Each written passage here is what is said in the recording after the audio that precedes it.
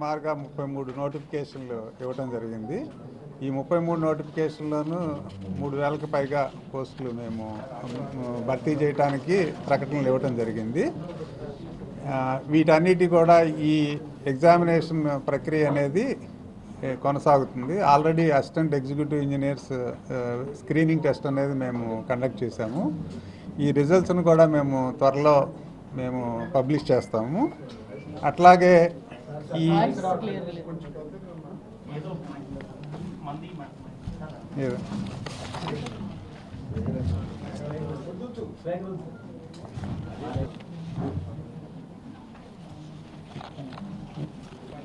మళ్ళీ మళ్ళీ స్టార్టింగ్. గత సంవత్సరం నవంబర్ నుంచి మేము సుమారుగా ముప్పై మూడు నోటిఫికేషన్లు రిలీజ్ చేయడం జరిగింది. ఈ ముప్పై మూడు నోటిఫికేషన్లు సుమారుగా మూడు వేలకు పైగా పోస్టులు మేము భర్తీ చేయడానికి నోటిఫికేషన్ ఇచ్చాము. ఆల్రెడీ ఈ నోటిఫికేషన్లు ఏవైతే ఇచ్చామో వీటికి ఎగ్జామ్స్ కూడా మేము కొన్ని కండక్ట్ చేయడం జరిగింది. Assistant executive engineer screening test already conduct చేశాము. ఆ రిజల్ట్ని కూడా మేము ఒకటి రెండు రోజుల్లో రిలీజ్ చేయడం జరుగుతుంది. అలాగే ఈ మిగిలిన వాటికి కూడా ఈ పదిహేడు నుంచి కూడా ఎగ్జామ్స్ స్టార్ట్ అవుతున్నాయి. ఆల్రెడీ మేము అసిస్టెంట్ మోటార్ వెహికల్ ఇన్స్పెక్టర్ వీటన్నిటికి కూడా హాల్ టికెట్స్ ఇష్యూ చేయడం జరిగింది. వీటన్నిటికంటే ముఖ్యమైన ఈ రిక్రూట్మెంట్ ఏదంటే ఇది పంచాయతీ సెక్రటరీ ఈ పది వందల యాభై ఒక్క పోస్టులకి కూడా ఈ నెల ఇరవై ఒకటో తారీఖున పరీక్ష జరగబోతోంది. వాటి హాల్ టికెట్స్ కూడా ఈరోజు సాయంకాలం లోపు మేము రిలీజ్ చేయడం జరుగుతుంది. ఈ అలాగే ఈ రిక్రూట్మెంట్లో కూడా ఏ టెస్ట్ ఏది అనేది మేము సుమారుగా ఆల్మోస్ట్ అన్నిటికీ కూడా మేము ఈ డేట్స్ మా వెబ్సైట్లో ప్రకటించడం జరిగింది. మేము దాదాపుగా ఏవైతే ప్రకటించామో వాటికి అదే డేట్స్కి మేము నిలబడి అదే రోజుల్లో వీలైనంత వరకు కండక్ట్ చేయడానికి మేము ప్రయత్నం చేస్తాము. ఎందుకంటే ఏవైనా మాకు కొన్ని టెక్నికల్ ప్రాబ్లమ్స్ వస్తే కానీ సర్వీస్ కమిషన్ ఎప్పుడు కూడా ఎగ్జామ్స్ పోస్ట్పోన్ చేయడానికి అనేది ఒక మేమందరం కూడా ఈ వ్యతిరేకం. ఎందుకంటే ఎగ్జామ్స్ పోస్ట్పోన్ అవడం వల్ల ఆబ్వియస్గా రిక్రూట్మెంట్స్ అన్నీ కూడా లేట్ అవుతుంది. ప్రభుత్వానికి కావాల్సిన ఈ ఉద్యోగులను అందించడంలో లేట్ అవుతుంది కాబట్టి మేము వీలైనంత త్వరగా భర్తీ చేయడానికి కావాల్సిన అన్ని ఏర్పాట్లు కూడా చేస్తున్నాము. అట్లాగే రీసెంట్గా ఈ మధ్యలో మేము గ్రూప్ అన్నది ఈ ఎలక్షన్ దృష్ట్యా ఎలక్షన్ వలన అందరూ కూడా రెవెన్యూ అధికారులు అందరూ కూడా బిజీగా ఉంటారు కాబట్టి గ్రూప్ వన్ ఒకటి మేము పోస్ట్పోన్ చేయడం జరిగింది. అలాగే ఈ గ్రూప్ త్రీ తర్వాత ఈ పంచాయతీ సెక్రటరీ తర్వాత మాకు ఇంపార్టెంట్ రిక్రూట్మెంట్ ఏంటంటే ఈ గ్రూప్ టూ అనేది. ఈ గ్రూప్ టూ కూడా వచ్చే నెల ఐదో తారీఖున మేము షెడ్యూల్ చేయడం జరిగింది. అది కూడా యథావిధిగా షెడ్యూల్ ప్రకారం కండక్ట్ చేయడానికి మేము అన్ని రకాల ప్రయత్నాలు కూడా చేస్తున్నాము. ఇవే కాకుండా ఇంకా కొన్ని పోస్టులకు కూడా మేము ఈ నోటిఫికేషన్లు ఇవ్వాల్సింది ఉంది. గవర్నమెంట్ ఆల్రెడీ మాకు ఈ పర్మిషన్ అయితే ఇచ్చింది కానీ కొన్ని సాంకేతిక కారణాల వలన మేము ఇంకా వాటిని ఇవ్వలేకపోయాము. అందులో ముఖ్యమైనది ఈ junior assistant cum computer assistant ఆరు వందల డెబ్బై పోస్టులు ఉన్నాయి. అట్లాగే అసిస్టెంట్ ఎగ్జిక్యూ అసిస్టెంట్ ఇంజనీర్స్ సుమారుగా నూట తొంభై పోస్టులు ఉన్నాయి. ఈ పోస్టులకి అంటే ఈ పాటికి మేము ఇవి కూడా ఇచ్చేసి వాళ్ళము కానీ ఈ ఈబీసీ రిజర్వేషన్ రావటం వలన మళ్ళీ సర్వీస్ రూల్స్ అన్నీ కూడా గవర్నమెంట్ అమెండ్ చేసి ఈ రివైజ్డ్ రోస్టర్ ఫిక్స్ చేసి మాకు పంపించాల్సిన అవసరం ఉంది. వీటన్నిటికీ కూడా ఒక నెల రెండు నెలలు సమయం పట్టవచ్చని చెప్పి మేము భావిస్తున్నాము. ఎప్పుడైతే గవర్నమెంట్ నుంచి మాకు రావాల్సినటువంటి ఈ సర్వీస్ రూల్స్ అమెండ్మెంట్స్ కానీ ఇవన్నీ ఎప్పుడైతే వచ్చి మా క్లియరెన్స్ వస్తుందో. వీటిని కూడా మేము ఒకటి రెండు నెలల్లో మొత్తము మిగతా పోస్టులు కూడా మేము ఈ రిక్రూట్మెంట్ నోటిఫికేషన్స్ రిలీజ్ చేసే అవకాశం ఉంది. అటువంటి నోటిఫికేషన్లు మా దగ్గర ఇంకా తొమ్మిది పెండింగ్లో ఉన్నాయి. వీటిని కూడా మేము వచ్చే రెండు నెలల్లో మేము ఈ నోటిఫికేషన్లు ఇవ్వగలమని చెప్పి మేము భావిస్తున్నాం.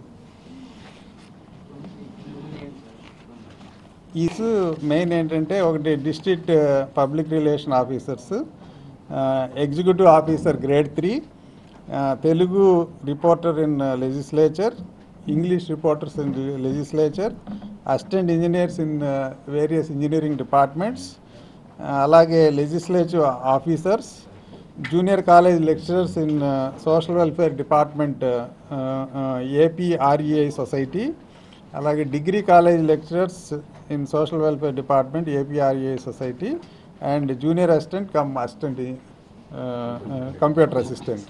So ఈ ఈ పోస్టులన్నీ కూడా మేము త్వరలో అంటే సుమారుగా ఒక నెల నుంచి రెండు నెలలు పట్టొచ్చని అనుకుంటున్నాము. ఈ లోపు మేము ఈ రిక్రూట్మెంట్స్ అన్నిటి కూడా రిలీజ్ చేయటం అనేది జరుగుతుంది. అట్లాగే? ఈబీసీ ఈ- ఈబీసీ నోటిఫికేషన్ అనేది ప్రభుత్వం ఇచ్చిన దానిలో ఆ- డేట్ అనేది ఎనిమిది మూడు రెండు వేల పంతొమ్మిది అనేది ఆ కట్ ఆఫ్ డేట్ ఇవ్వటం జరిగింది. ఆ తర్వాత వచ్చే నోటిఫికేషన్స్ అన్నిటికీ కూడా ఈ ఈ రిజర్వేషన్ ఏదైతే ఉందో ఈబీసీ రిజర్వేషన్ దాన్ని వర్తింపు చేయడం జరుగుతుంది.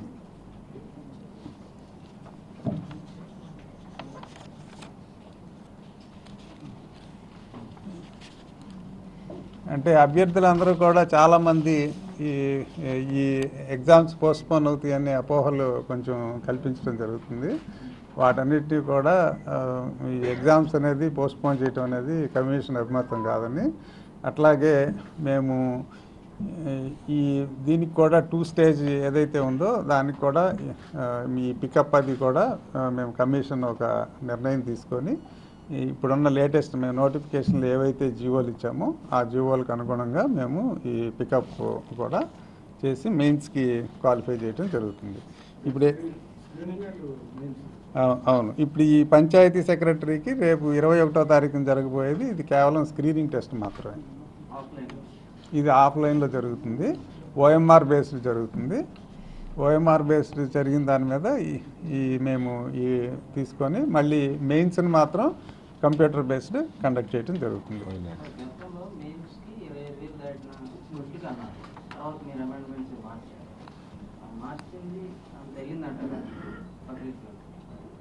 అంటే ఇప్పుడు ప్రభుత్వం లేటెస్ట్ ఇచ్చిన అమెండ్మెంట్లో గతంలో ఏదైతే ఇచ్చిందో దానికి ప్రభుత్వం ఏంటంటే ఈ రెండు వందలు ఎక్కడైతే ఒక పోస్ట్కి రెండు వందల కంటే ఎక్కువ కాంపిటీషన్ ఉంటుందో అటువంటి ఎగ్జామ్స్కి కూడా ఈ స్క్రీనింగ్ టెస్ట్ అనేది పెట్టడానికి మాకు ఈ అవకాశం ఇవ్వడం జరిగింది. అది ఒక స్క్రీనింగ్ టెస్ట్ కండక్ట్ చేయాలా వద్దా అనేది ఆ పరిస్థితిని బట్టి కమిషన్ నిర్ణయం తీసుకోవడం జరుగుతుంది. అంటే సుమారుగా కొన్ని పోస్టులు చిన్న చిన్న రిక్రూట్మెంట్స్లో రెండు పోస్టులే ఉన్నాయి. రెండు పోస్టులు ఉంటే నాలుగు వందలు దాటారు కదా అని టూ స్టేజ్ పెట్టాల్సిన అవసరం కూడా కొన్నిసార్లు ఉండకపోవచ్చు కాబట్టి దాని అవసరాన్ని బట్టి మేము ఎక్కడైతే తక్కువ పోస్టులు ఉండి బాగా ఎక్కువ మంది క్యాండిడేట్స్ ఉంటారో. అటువంటి వాటన్నిటికి కూడా మేము ఖచ్చితంగా స్క్రీనింగ్ టెస్ట్ అనేది పెట్టడం జరుగుతుంది.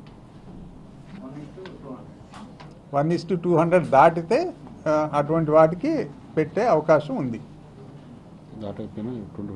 ఉంటుంది. అలాగే రెండవది ఈ ఇరవై ఐదు వేలు దాటినా కూడా మేము ఉంటాం. ఎందుకంటే ఇరవై ఐదు వేలు దాటితే కనుక మాకు ఒకే దీనిలో చేయటం అనేది కూడా కష్టమైన విషయం. మెయిన్ మెయిన్ ఎగ్జామ్స్ అన్నీ కూడా ఆన్లైనే. అంటే స్క్రీనింగ్ ఏదైనా ఉంటే స్క్రీనింగ్ వరకు ఆ గ్రూప్ వన్ అనేది డిస్క్రిప్టివ్ కాబట్టి అది కూడా అది ఉంది. అట్లాగే గ్రూప్ వన్ ఫిలిమ్స్ కూడా ఇది మన ఓఎంఆర్ బేస్డే అవుతుంది. ఎందుకంటే సుమారుగా లక్ష పైగా ఉన్నారు కాబట్టి ఇది కూడా ఆఫ్లైనే అవుతుంది.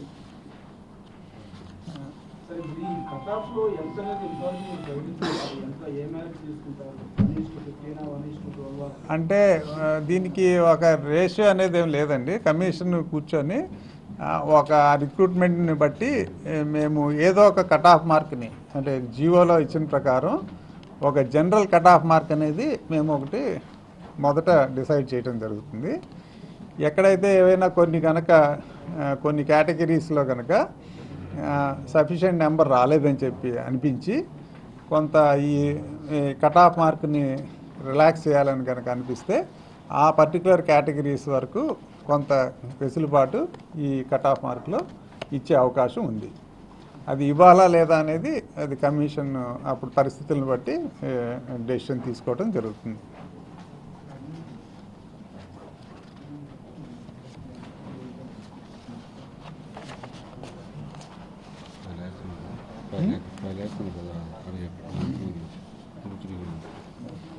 సుమారుగా ఇప్పుడు మేము చేసే ఈ గ్రూప్ త్రీ ఏదైతే ఉందో మేము చేసే ఇప్పుడు ప్రస్తుతం చేస్తున్న రిక్రూట్మెంట్లో మాకు హైయెస్ట్ నెంబర్ ఆఫ్ అప్లికేషన్స్ వచ్చింది ఈ ఈ ఈ రిక్రూట్మెంట్కే అని కూడా మేము సుమారుగా ఐదు లక్షల వరకు వచ్చాయి.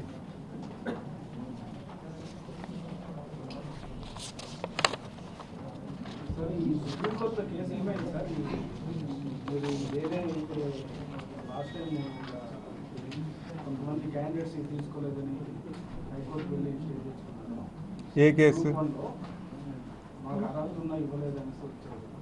ప్రస్తుతం అయితే మాకు ఎటువంటి స్టేలు లేవండి. మాకు మేము మేము చేసిన రిక్రూట్మెంట్లు అన్నీ కూడా గతంలో ఏవైతే ముప్పై నాలుగు ఇచ్చామో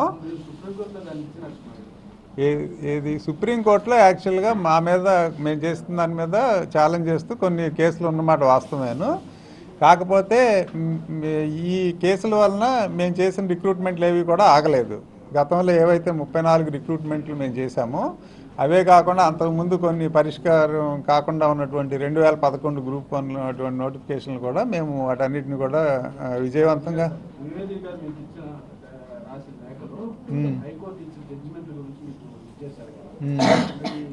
వాళ్ళకి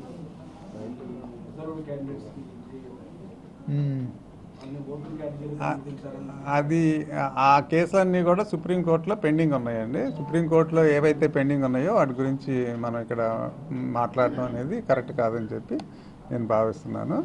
దాని మీద ఎటువంటి జడ్జిమెంట్ కమిషన్కి అనుకూలం కానీ వ్యతిరేకంగా కానీ ఇటు ఇప్పటి వరకు రావడం అనేది జరగలేదు.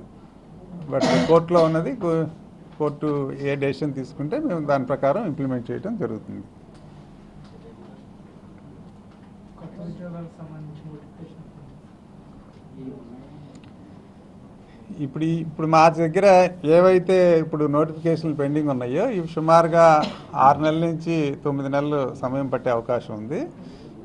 ఈలోపు ఏదైతే కొత్త ప్రభుత్వం వస్తుందో వాళ్ళు ఇంకా మా కొత్త నోటిఫికేషన్లు కూడా ఇస్తారని చెప్పి భావిస్తూ మేము ఈ వర్క్ని అంటే వీలైనంత వరకు మేము ఇది ఒక రిక్రూట్మెంట్ అనేది యాన్యువల్ ఫీచర్ కింద అంటే ఒక యాన్యువల్ క్యాలెండర్ కింద తయారు చేద్దామనే ప్రయత్నంలో ఉన్నాము. ప్రస్తుతానికి గతంలో కంటే భిన్నంగా కనీసం రెండు సంవత్సరాలకి ఏవైతే మేము రెండు వేల పదహారులో ఇచ్చామో నోటిఫికేషన్లు అవే నోటిఫికేషన్లు మళ్ళీ మేము రెండు వేల పద్దెనిమిదిలో ఇచ్చాం. ఇప్పుడు కనీసం రెండు సంవత్సరాలకు ఒకసారి అనే పద్ధతికి మేము తీసుకురాగలిగాము. దీన్ని భవిష్యత్తులో ఎవ్రీ ఇయర్ అనే దానికి తీసుకొద్దామనే ప్రయత్నంలో మేమున్నాం sir Panchayati Raj exam good Friday రోజు కండక్ట్ చేశారు కొంతమంది. అభ్యర్థులు ఇబ్బంది పడే అవకాశాలు ఎక్కువ ఉంది. గుడ్ ఫ్రైడే సడన్గా వచ్చింది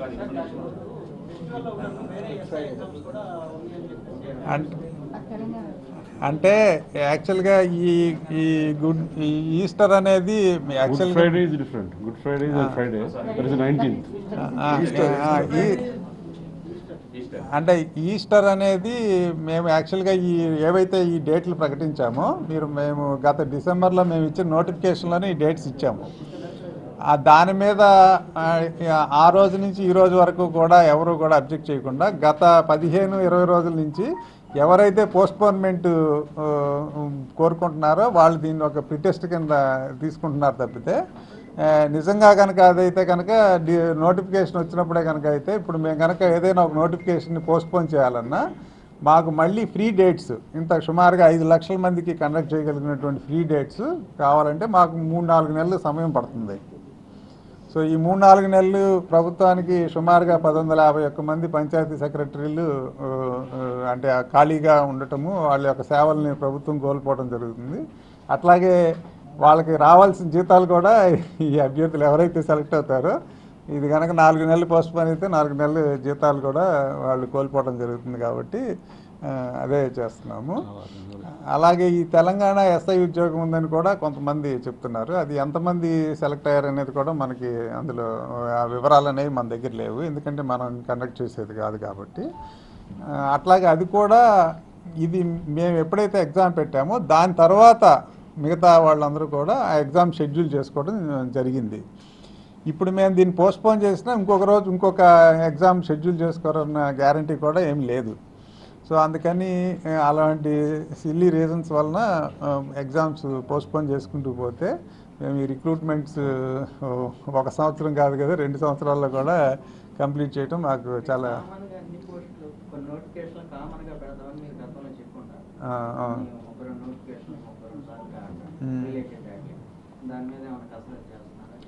అంటే మేము. కమిషన్ అనేది ఒక చేస్తాం దాని మీద కూడా. ప్రభుత్వంలో ఇదేంటంటే మేము ఏవైనా కనుక ఈ పెట్టాలంటే మేము ప్రభుత్వం కూడా దానికి అనుగుణంగా జీవోలు ఇష్యూ చేయాల్సి ఉంటుంది. ప్రభుత్వం కూడా దానికి సంబంధించాల్సి ఉంటుంది. మేము. ఏవైతే కామన్ డిగ్రీ ఒకే డిగ్రీ అంటే అన్ని డిగ్రీలు వాళ్ళు ఎలిజిబుల్ ఉన్న ఏవైతే పోస్టులు ఉన్నాయో వాటన్నిటిని కూడా మేము రెండు గ్రూపుల కింద విభజించి ఏవైతే మీకు ఈ టాప్ పోస్టులు ఉన్నాయో ఏ, గ్రూప్ వన్ కానీ ఇటువంటి టాప్ పోస్టులు వాటికేమో మేము ఈ రాత పరీక్ష ఏదైతే ఉంటుందో డిస్క్రిప్టివ్ ఎగ్జామ్ ఉంటుందో అటువంటి పరీక్ష పెడదామని చిన్న చిన్న ఉద్యోగాలన్నిటికీ కూడా ఈ ఆబ్జెక్టివ్ టైప్ పరీక్ష పెట్టి మొత్తం రెండు గ్రూపులే. ఇప్పుడు group one group two group three అనేది ఉంది. ఓకే గ్రూప్ టూకి కూడా ఎనీ డిగ్రీ ఎలిజిబుల్. అలాగే గ్రూప్ త్రీ కూడా ఎనీ డిగ్రీ ఎలిజిబుల్. మేము ఈ రోజుని గ్రూప్ టూకి ఒక ఎగ్జామ్ పెడుతున్నాం గ్రూప్ త్రీకి ఒక ఎగ్జామ్ పెడుతున్నాం. అంటే ఆల్మోస్ట్ అది ఒక రిపిటేషన్ లాగా ఉంది. రెండోది ఏంటంటే కొంతమంది గ్రూప్ టూకి ఎవరైతే సెలెక్ట్ అవుతున్నారో అదే వ్యక్తులు మళ్ళీ గ్రూప్ త్రీలో కూడా సెలెక్ట్ అవ్వడం జరుగుతుంది. దీనివలన కొన్ని ఉద్యోగాలు ఖాళీగా ఉండిపోయే పరిస్థితి కూడా ఉంది. అంటే ఇటువంటి పరిస్థితిని భవిష్యత్తులో మేము రాకుండా చూసుకోవడానికి వీలైనంత వరకు ఏవైతే అన్ని డిగ్రీలు ఎలిజిబిలిటీ ఉన్నాయో వాటికి ఏదో ఒక ఎగ్జామ్ కానీ లేదంటే రెండు ఎగ్జామ్స్. ఎందుకంటే పెద్ద పెద్ద పోస్టులకి కనీసం వాళ్ళ ఎలా డిస్క్రిప్టివ్ ఎగ్జామ్ ఎలా రాస్తారనేది కూడా మేము పరీక్ష చేయాల్సిన అవసరం ఉంటుంది. అంటే ఇంకోటి నోటిఫి మీరు అడిగిన నోటిఫికేషన్స్ కదా నోటిఫికేషన్స్ ఒకటే రోజు జరుగుతుంది. అంటే అట్లా కాదు. మేము ఏం చేస్తున్నామంటే ఈ ఈ జనరల్ స్టడీస్ పేపర్ ఏదైతే ఉందో రెండు మూడు నోటిఫికేషన్లకు ఒకే పేపర్ ఒకే రోజు ఎగ్జామ్ పెట్టేస్తున్నాం. సెకండ్ పేపర్ ఏదైతే ఉందో దాన్ని విడివిడిగా కూడా పెట్టడం జరుగుతుంది ప్రస్తుతానికి. మేము ఇచ్చిన నోటిఫికేషన్ ఈ ముప్పై మూడు నోటిఫికేషన్లో మీరు చూస్తే కనుక మీరు ఈ నెల ఇరవై తొమ్మిది ముప్పైలో మీరు చూడండి రెండు మూడు ఎగ్జామ్స్ మీకు కలిపేసి ఉంటాయి. సో అందరూ కూడా వాటికి నోటిఫికేషన్ పోస్ట్ చాలా మెసేజ్లు వస్తున్నాయి. అంటే చాలామంది మమ్మల్ని పోస్ట్పోన్ చేయమని అడుగుతున్నారు కానీ బహుశా మీకు కూడా ప్రెస్ వాళ్ళకి కూడా మీకు అటువంటి విజ్ఞప్తులు ఏమైనా వస్తే వచ్చి ఉండొచ్చు.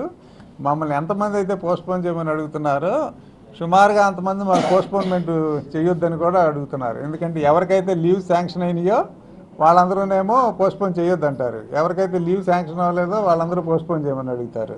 ఓకే? ఇట్లా రకరకాలైనటువంటి ఇవి ఉండటం జరిగింది. కాకపోతే మా వరకు ఎవరి ఇబ్బందులు వాళ్ళకు ఉంటే ఉండొచ్చు కానీ మా ఉద్దేశం అభ్యర్థుల దీనికంటే కూడా ప్రభుత్వ ఉద్యోగాలను వీలైనంత సత్వరం వీటిని భర్తీ చేయాలనేది మా ఆలోచన. ఓకే?